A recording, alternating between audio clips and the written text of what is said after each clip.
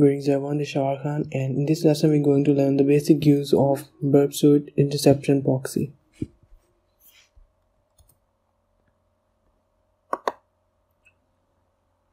In the previous lesson we learned how to configure Burp Suite proxy.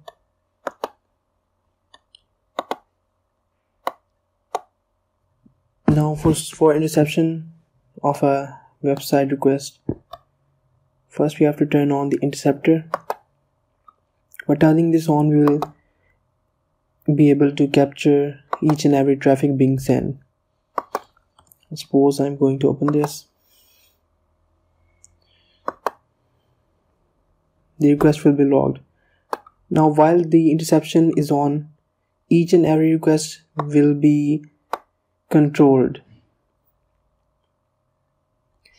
I can forward the request I can drop the request and I can perform any specific action by dropping the request, the request will not be sent to the server and the request will be cancelled.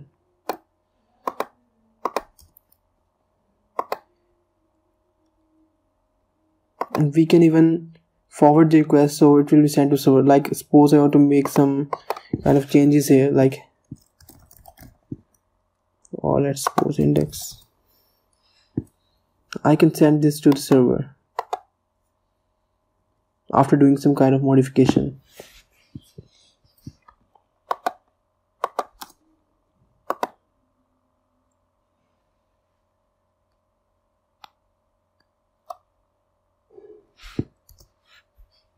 we can see the request in different forms. This is the raw format. You can see the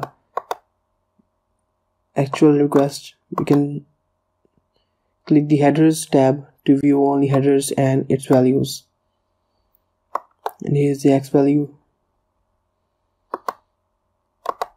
We can even perform some actions like we're right clicking here and we're in the request. We can send it to spider. We can send it to different tabs of burp suite.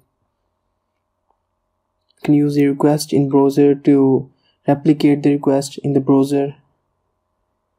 These are some kind of pro features like these generate POCs and some stuff we can even change the request type.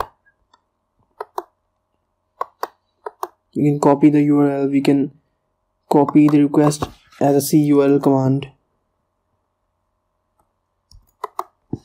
You can save the request to a file. We can stop the request from interception we can intercept its response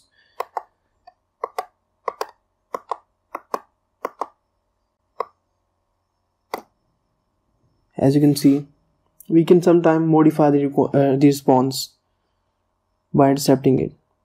So that's the interception and in the in the http history tab we can see all the requests that we that were made before.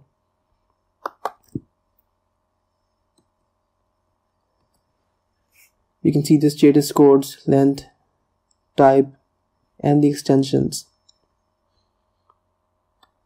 so that's how to use the burp suite proxy